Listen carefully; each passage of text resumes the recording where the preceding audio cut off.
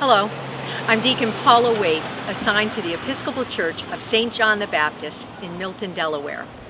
Today I'm visiting the iconic treehouse located at our community-friendly and generous neighbor, Dogfish Brewery. Today I would like to talk a little bit about the outreach efforts that St. John the Baptist participates in throughout the year. The first um, ministry that I want to talk about is our Sandwich Thursdays. Many of the students are relying on the school lunches during the school year, but during the summer months those lunches don't exist. Three years ago, St. John the Baptist began Sandwich Thursdays, providing a free lunch to students during the summer months. This year, we served over 30 children each and every week during the summer.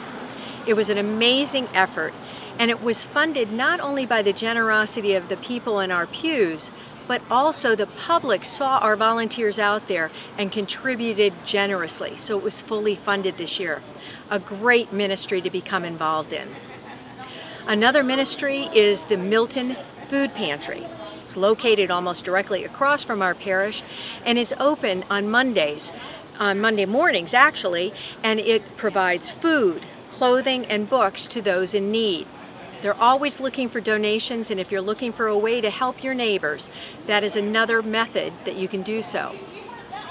Another ministry that is a seasonal favorite and has just started up for St. John the Baptist is our um, Stockings for Soldiers. Now that's a national effort, but here at St. John the Baptist, we stitch together almost 200 stockings and fill them with supplies, and they're sent to the soldiers who are serving overseas.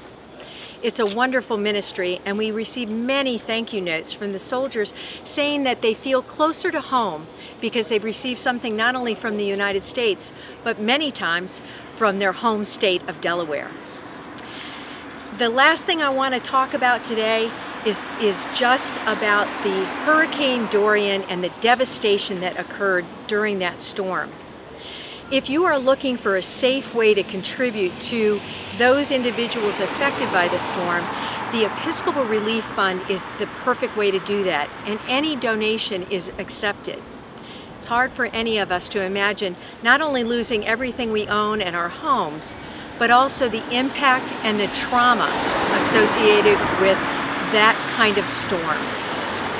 All of these ministries are available. I encourage you to look on our website and take a look and see if there's something that touches your heart and makes you feel that you want to get involved. If there is, please don't hesitate to reach out to me or through the website itself. You are all welcome to join us for worship on Sunday mornings at 10 a.m. with fellowship to follow. And remember, the Episcopal Church welcomes all, no exceptions.